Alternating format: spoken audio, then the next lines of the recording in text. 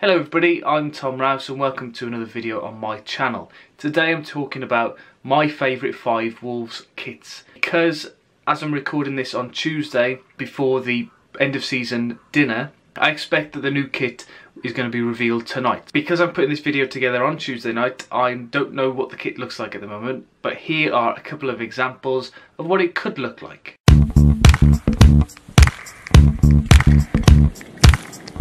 I personally have not liked many of the kits over recent years. Growing up in the 90s, I think we were a little bit spoilt for uh, creativity. And there were some amazing football kits. Been a bit bland over recent years. So I just want to have a look back at some of my favourite kits.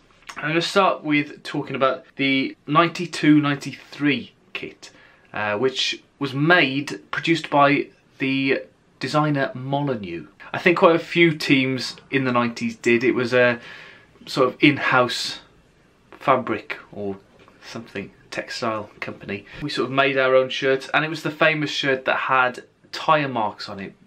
You know, you've got a sponsor, Goodyear, what are they famous for? Tyres.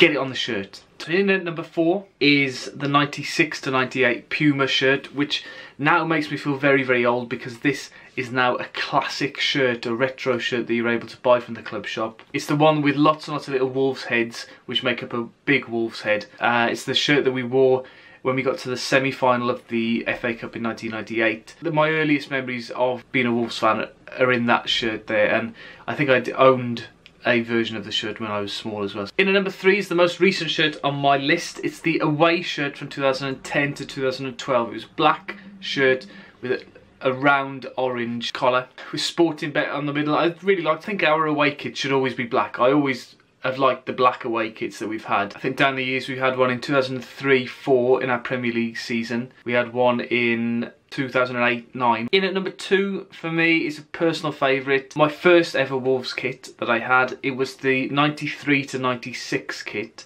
made by Nutmeg. Uh, sponsors were Goodyear and it had the old, the, the badge of the city on the shirt as well, which traditionally Wolves only wore when they got to cup finals. Back in the 1960s, before there were badges and sponsors and kit makers, and they just had plain gold shirts, they played in all gold, no badge, until they got to a cup final and they had special badges made, and it was the badge of the city.